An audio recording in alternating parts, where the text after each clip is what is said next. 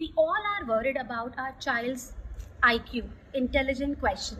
हम चाहते हैं कि हमारा बच्चा ए ग्रेड लेकर आए। बट क्या हम इक्वली कंसर्न हैं ई e के लिए? इमोशनल क्वेश्चन इमोशनल इंटेलिजेंस एक ऐसी एबिलिटी है जो इंसान अपने इमोशंस को भी समझ पाता है जिससे और दूसरे के इमोशंस को भी समझ पाता है।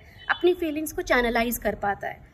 अगर आप ए ग्रेड से पास हो रहे हैं आप थ्रू आउट टॉपर हैं बट अगर आपके अंदर इमोशनल इंटेलिजेंस नहीं है सो वो यूज़लेस है। ना ही तो आप टीम में वर्क कर पाएँगे ना ही आप एज एन कोलेबोरेट कर पाएँगे किसी के साथ क्योंकि आप दूसरे की फीलिंग्स को चैनल आप uh, समझ नहीं पाएँगे।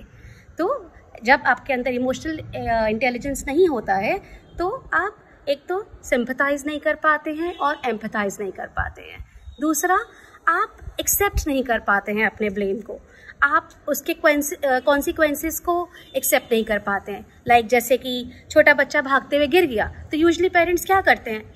अरे, इसने आपको गिरा दिया, ज़मीन को मारते हैं, या फिर जो भी वहाँ पे सामान रखा होता है, उसको हिट करते हैं। But they never say this कि हमें क्या करना चाहिए? हमें बच्चे को बोलना चाहिए कि बेटा this is not the place to run ये भागने की जगह नहीं है। आपको केयरफुल रहना पड़ेगा। तो इससे क्या होगा? बच्चा ब्लेम लेने ब्लेम भी एक्सेप्ट करता है और उसकी आगे के कॉन्सिक्वेंसेस को भी समझता है। ऐसे ही अगर आप इमोशनली बैलेंस नहीं है तो आप अपनी फीलिंग्स को भी कंट्रोल नहीं कर पाते हैं। May it be happiness sadness anger so that's how it restrict your success so we should equally concern about the emotional intelligence let's work on it and happy parenting